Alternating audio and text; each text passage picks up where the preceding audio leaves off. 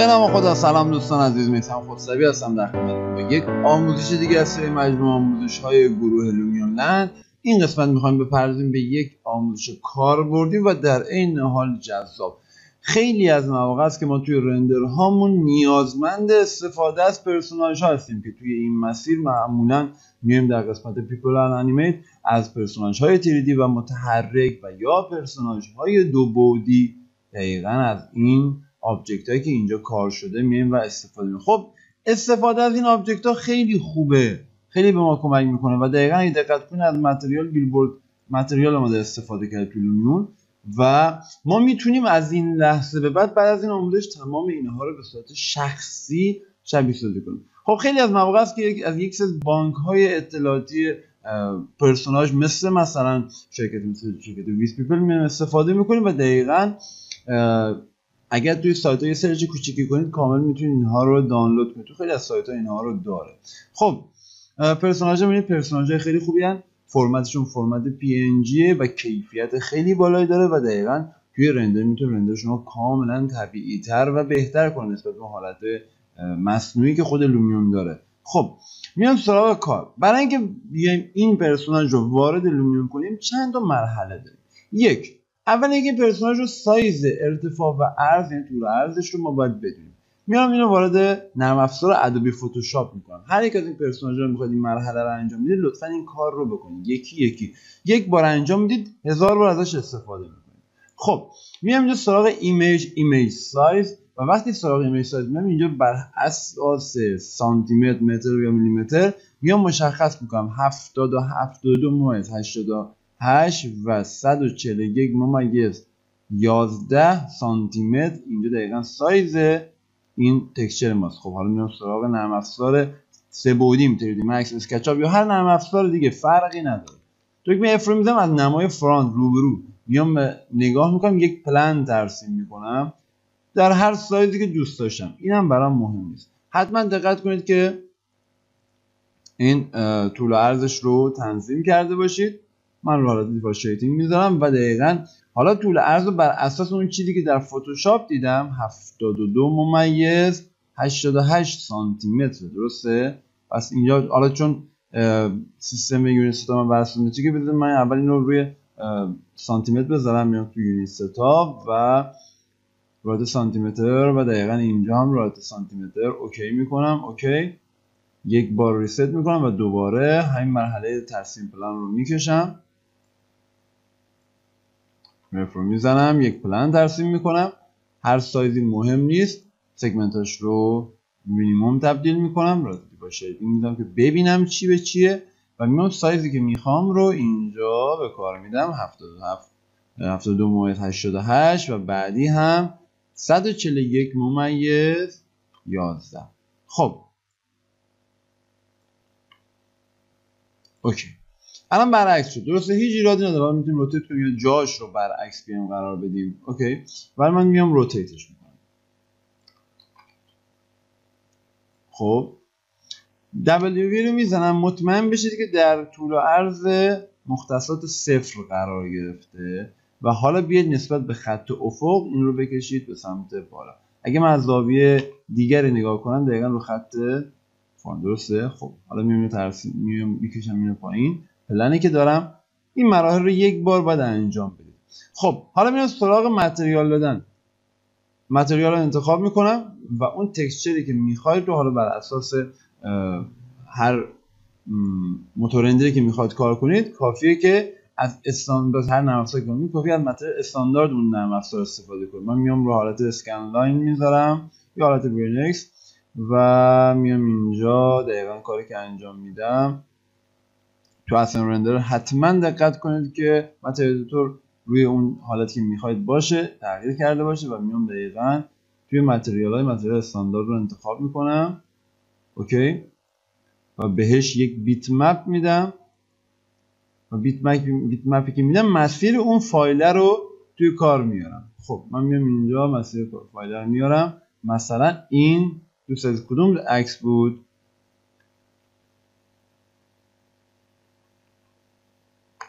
این عکس درسته؟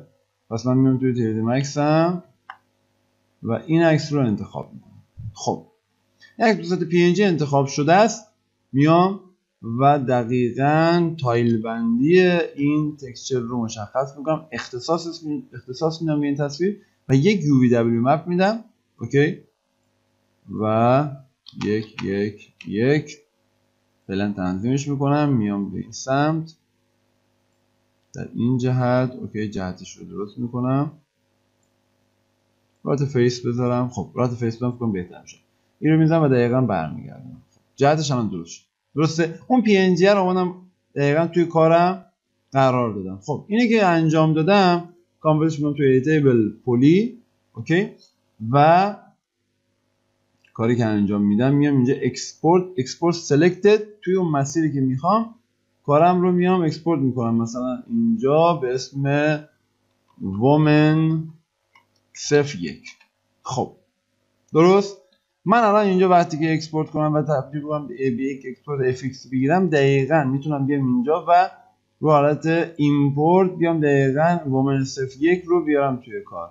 خب. رو هر حالتی که می‌خواید قرار بدید هر category که می‌خواید قرار می‌دید و این plane اینجا قرار می‌گیره. اگه دقت کنید وقتی میچرخین دیگه نمیچرخه. درسته؟ برای اینکه چرخش بیاد ایجاد بشه کافیه این رو من انتخاب کنم بهش material billboard بدم.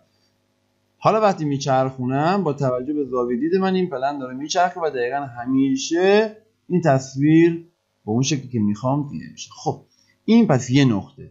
ما تونستیم پرسوناژ رو بیاریم داخل. حالا اگه دقت کنید توی این فولدرم دید حالت های مختلفی از این خانم اینجاست. در زوایای مختلف اینجا ما داریم این خانم رو می‌بینیم. حالا مثلا این خانم جدا و به همیشه. okay؟ چه کار می‌کنم؟ اینا رو یکی یکی می‌خوام بیارم داخل. دوباره نمیام توی Adobe Photoshop این کنسلش کنم. و دوباره image image size رو مطمئن میشم. نه سایز فرق کرد. می‌بینید؟ بذار رو سانتی متر بذارم. سایز فرق کرد. بله. control C می‌زنم. دوباره میرم سراغ نرم افزار 3D Max م. و کاری که انجام میدم رو اینجا یک پلن ترسیم می‌کنم. اوکی؟ و طول و عرض کارم رو اینجا دیگه اختصاص میدم. چقدر بود؟ 70 ممیز 27 70 ممیز 27 و بعدی 141 ممیز 11 141 ممیز 11 تموم. حالا میام سراغ متریالم الان یه کپی می‌گیرم. این مطلبش اختصاص میدم. حالا texture ی که می‌خوام توی کار بیارم رو این texture این یکی رو میارم. درسته؟ UVW map و در حالت face قرار میدم. خب جهتش باید برمیگشت. این جهتش رو حالت box می‌ذارم و بله. الان جهتش درسته ماد ایمان شد خب این پرسوناژ منه. درسته؟ کانورتش می‌کنم توی تیبل پولی. البته بذارید من بدون تیبل پولی اکسپورت بگیرم. مثلا کانورتش کنم توی تیبل پولی. الان یه کاری می‌کنم. میام اینجا و اکسپورت سلکتد حالا اینجا ومن یک بود. اینجا می‌کنم ومن دو. درسته؟ سی و میام از حالت بعدیشم دوباره استفاده می‌کنم. این خانم رو در این مسیرم با هم دیگه همراهی می‌کنیم و بعد باقی قسمت ها رو شما می‌تونید به تمرین بیاد و انجام بدید. خب دوباره میرم image image size روی حالت سانتی متر و 141 که اینجا 60 یک. okay؟ 60 صفر okay رو می‌زنم. میام سراغ 3D Max دوست داشتنی و اینجا یک undo می‌زنم. خب حالا اینجا plane م رو control V. okay؟ size مشخص شده. اینو delete ش می‌کنم و میام اینجا از این کپی می‌گیرم. من save ت که بتونم باز undo بزنیم حداقل. و بهش یک مسیری که داشتیم اینجا این عکس بود دیگه نه؟ بله. این عکس رو میارم توی کار. سه تا حالت رو انتخاب کردم. و حالا بهش UVW map میدم. رات box خب. poly می‌زنم و دقیقا اونجا اومده و تنظیم شده است. حالا میام اینجا فایل و export selected دوباره مسیر woman شماره 3 خب درسته؟ okay. حالا این کاری که انجام دادم میان سراغ Lumion ببینید شما وقتی یه object یو میارید وارد Lumion می‌کنید در حین import کردن دقیقا در این پنجره مشخصاتی که این object داره یه قسمتی هست نوشته import new variation. درسته؟ من میام یک واریشن دیگه به کارم اضافه می‌کنم عنوان دو. خب؟ و بعد دوباره یه واریشن دیگه هم اضافه می‌کنم به نام woman سه.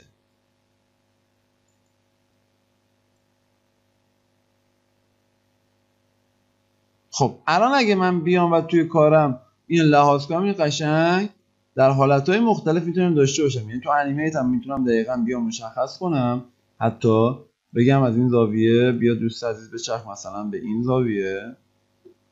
اوکی؟